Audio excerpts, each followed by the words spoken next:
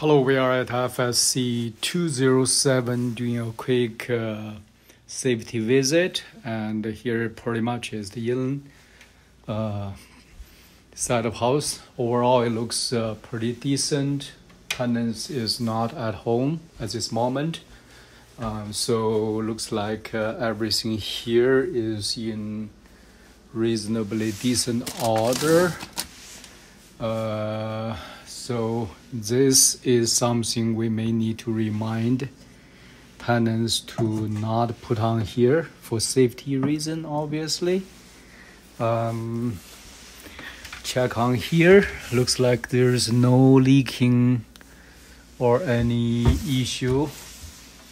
Uh, looks like fridge, everything works out reasonably well. No distraction or of a normal situation can be found. So let's go into this uh, master bedroom. And again, pretty decent normal stage.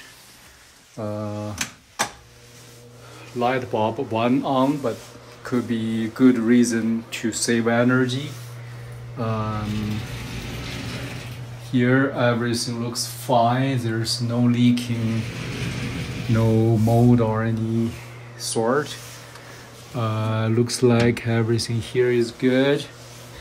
And also checking on the bottom, no leaking can be found here either. So everything here looks fine.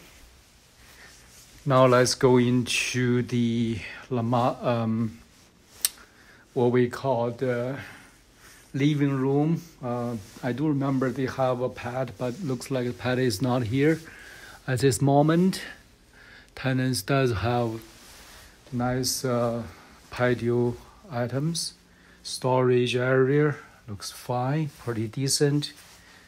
And uh, here is another bathroom.